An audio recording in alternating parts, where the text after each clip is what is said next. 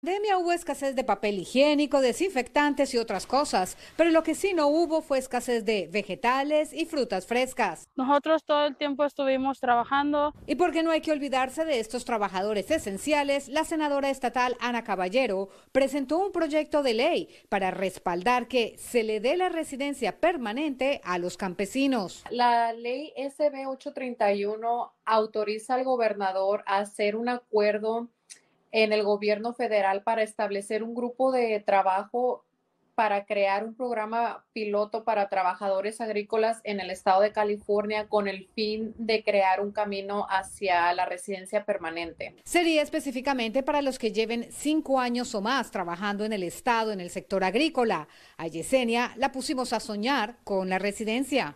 Ah, siempre he soñado porque pues tengo ganas de ver a mi familia.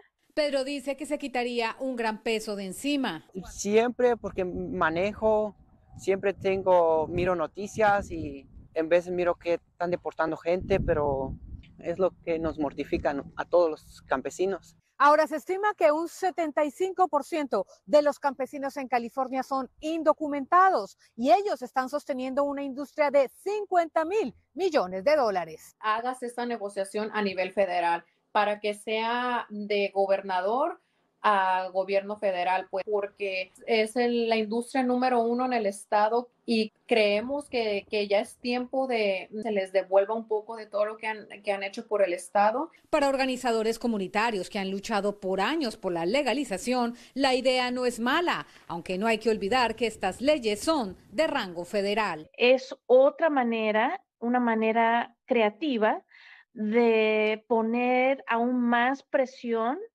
al Congreso y al presidente que ya es hora de pasar una reforma migratoria justa. En Half Moon Bay, Pilar Niño, Noticiero Telemundo 48.